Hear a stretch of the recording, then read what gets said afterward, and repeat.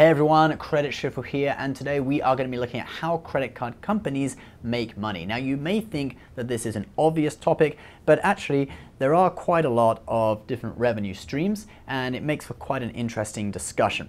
But first of all, if you are new here, why not hit that subscribe button? We upload several videos a week telling you how to maximize credit card points and rewards and how to improve your credit score.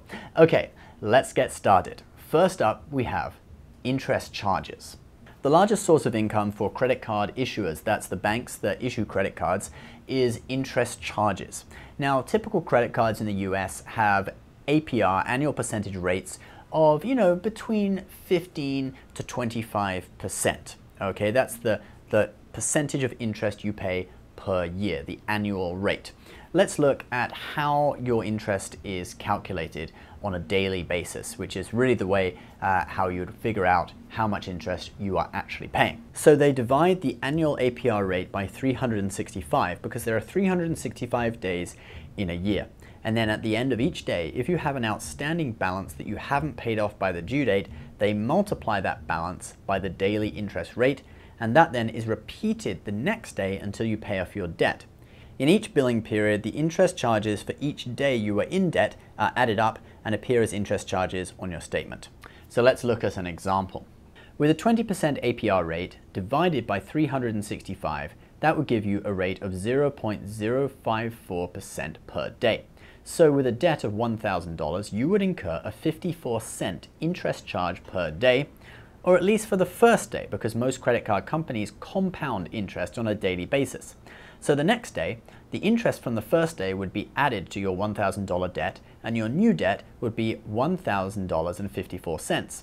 Then that would again be multiplied by the daily rate, which means that the second day you would pay 54.02 cents in interest, more than the first day. And this compounds, so you actually pay more than the APR rate.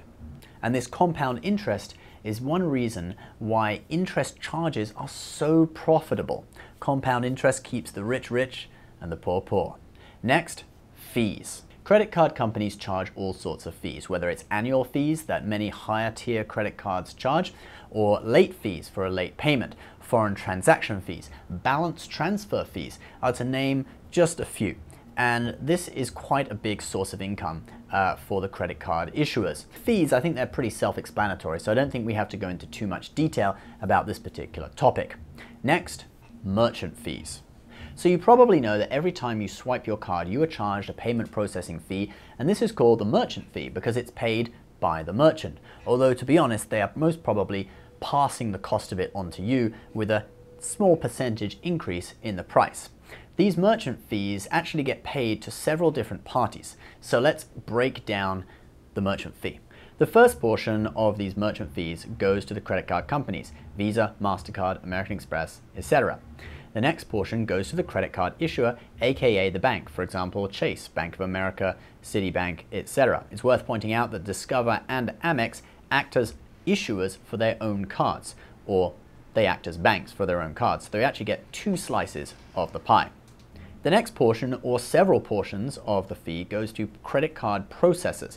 These are called acquirers, and they're kind of like middlemen who actually process the transaction, and there could be many of them uh, within one transaction. And the names of these uh, processors, that they're probably not really that well known to the public. The next portion of the merchant fee goes to merchant account providers.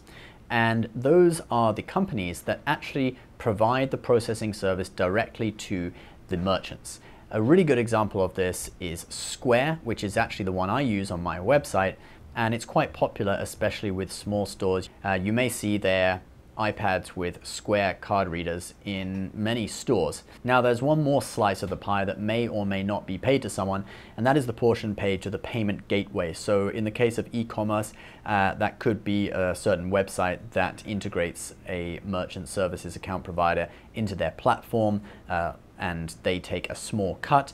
Uh, also, Apple Pay actually takes a very small cut uh, of payments too. That would also class as the payment gateway. One interesting fact about this is that American Express doesn't actually make any money on interest charges on its charge cards because charge cards you have to pay off at the end of every month. Obviously Amex does have a line of credit cards as well, but a large amount of their cards are actually charge cards. So they have to make that up somewhere else. So American Express merchant fees uh, tend to be a little higher and American Express is also getting two slices of that pie from the merchant fees because they are both the issuer and the bank. Um, and that's also another reason why some stores won't accept American Express. They'll say Visa and MasterCard only, no American Express, or they'll say American Express only if it's over $10, something like that. Uh, it's because their merchant fees are a little bit higher than Visa and MasterCard. All right, guys, so I hope that was an interesting look into how credit card companies make money. Obviously, there is quite a huge breakdown. If you want to look at exactly how the merchant fees are broken down, down to the like 0.000 something percent, uh, there's there's some articles that I can link uh, in the description of this video you can go check out online that sort of lists out all the different parties that are taking a fee. It's actually quite interesting, but uh, too much to explain uh, in one video. So if you like this video, please give it a thumbs up, uh, subscribe if you're new, and we will see you next time. Bye-bye.